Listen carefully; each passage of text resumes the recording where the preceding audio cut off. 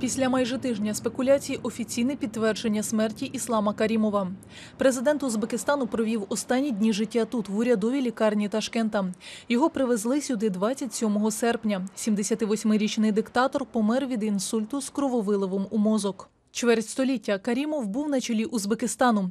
Його призначили першим секретарем компартії у 1989 році, коли країна ще була частиною радянського союзу.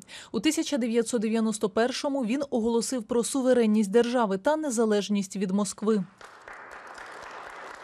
Демократичною країна, утім, не стала. Його звинувачували у фальсифікації виборів та насильстві. Організація з безпеки та співробітництва в Європі висловила сумніви з приводу законності виборів у березні 2015 року. Тоді Карімов отримав 90% голосів виборців. Його офіційно переобрали на посаду президента. Хто прийде до влади після смерті авторитарного лідера?